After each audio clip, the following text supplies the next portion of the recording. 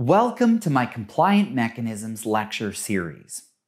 I'm Professor Hopkins, and this series consists of raw, unedited recordings of the actual lectures that I use for my students when I teach my Compliant Mechanism Design course each year at UCLA.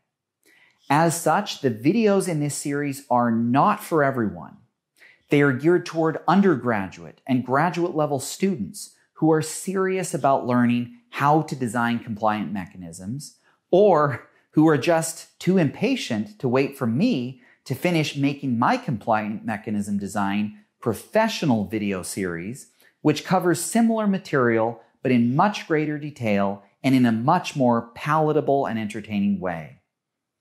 If you haven't seen that playlist of videos yet, I strongly recommend seeing them first before starting with this lecture series.